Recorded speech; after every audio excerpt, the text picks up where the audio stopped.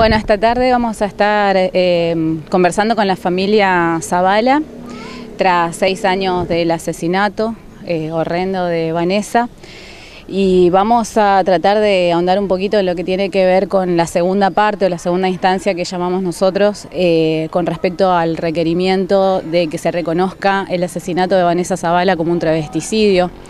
Esta figura, digamos, mm, ha sentado jurisprudencia a nivel nacional con el caso de Diana Zacayán, una activista trans que fue asesinada en Buenos Aires, prácticamente la iniciadora de toda la lucha junto con el colectivo LGBT del cupo laboral trans. Eh, de esa manera nosotros creemos que la figura podría sentarse acá como jurisprudencia en la provincia de Santa Fe, que es muy necesaria debido a lo que está sucediendo también con la comunidad trans, no solamente en los ataques directos, sino también en el olvido que tiene que ver con las políticas de salud, que tiene que ver con las políticas de educación, laboral y demás, y que hace la inclusión.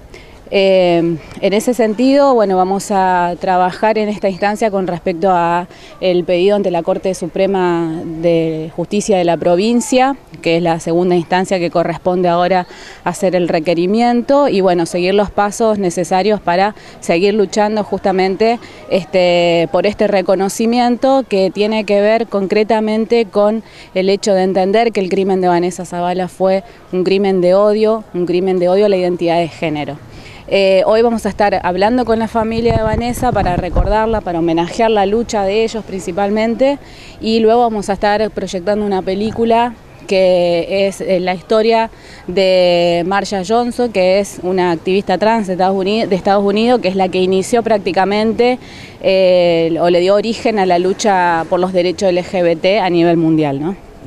Están invitados los vecinos, amigos, parientes, quien quiera. Quien quiera es una actividad pública, abierta. Eh, como decía, no es solamente conmemorar, sino empezar a reunirnos nuevamente eh, como activistas, como militancia, como comunidad que ha apoyado y que nosotros hemos valorado durante todo este tiempo, porque desde el primer momento en que salimos a la calle a marchar, esta comunidad de Reconquista se ha expresado contra el odio, ha apoyado justamente a Vanessa y sobre todo en estos tiempos donde hay cuestiones muy reaccionarias con respecto a la comunidad LGBT, a las disidencias sexuales, a la, orientación por la sexualidad, entendemos que es el momento donde más tenemos que estar eh, juntos donde más tenemos que este, protagonizar luchas y es por eso que hoy estamos invitando a todos que vengan a participar acá en el salón vecinal a partir de las 7.30 donde vamos a hacer la charla primero con la familia y luego la proyección de la película.